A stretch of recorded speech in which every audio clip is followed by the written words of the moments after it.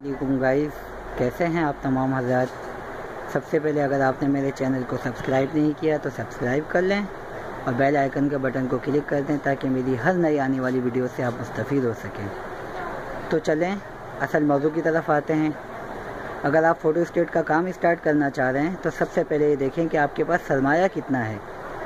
अगर दो से तीन लाख तक अगर आपके पास सरमाया है तो आप क्योसेरा कंपनी की फ़ोटो स्टेट मशीन साठ तीस या टास्क अल्फ़ा ले लें। ये मशीन जो मैंने आपको मॉडल बताया क्योसेरा ये सबसे अच्छा मॉडल है और साठ, तीस या टास्क अल्फ़ा अगर आपके पास सरमाया तकरीबन ढाई से तीन लाख रुपए है तो आपके लिए बेस्ट मशीन है।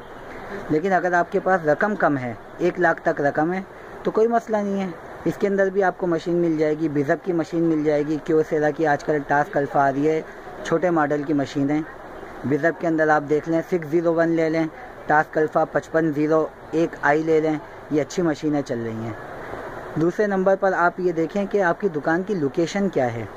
अगर आपकी दुकान के आसपास कोई सरकारी दफ्तर, स्कूल, कॉलेज या यूनिवर्सिटी वगैरह है तो आपका काम बहुत अच्छे अंदाज में चलेगा। लेकिन अगर आपकी दुकान के आसपास कोई सरकारी दफ्तर, स्कूल वगैरह, ऐसा सेंटर वगैरह कुछ भी नहीं है तो फिर आपको थोड़ी सी मुश्किल दरपेश हो सकती है।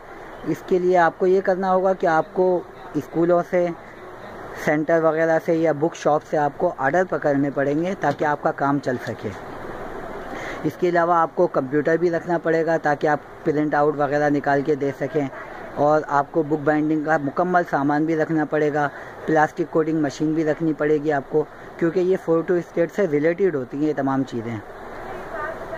आप ये और अगर आपके पास ये चीज़ें मैसर नहीं हैं, मसलन अगर आपके पास कोई सरकारी दफ्तर वगैरह आपकी दुकान के आसपास नहीं है, या आप किसी से आर्डर वगैरह भी नहीं पकड़ सकते तो बरए मेहरबानी फिर आप फ़ोटो स्टेट का काम स्टार्ट ना करें।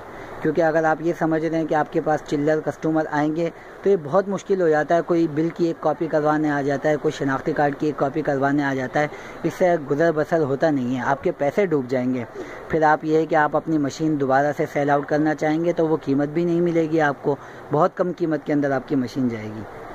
उम्मीद है आपको मेरी ये वीडियो पसंद आई होगी। अगली वीडियोस के अंदर आपको मैं मशीन ऑपरेट करने का तरीका और फ़ोटो स्टेट मशीन को कंप्यूटर से किस तरीके से कनेक्ट करते हैं, इसका तरीका बताऊँगा। प्रिंट आउट निकालने का तरीका और दीगर मुफीद चीज़ें सिखाऊँगा। तब तक के लिए इजाज़त दीजिए। असलकुम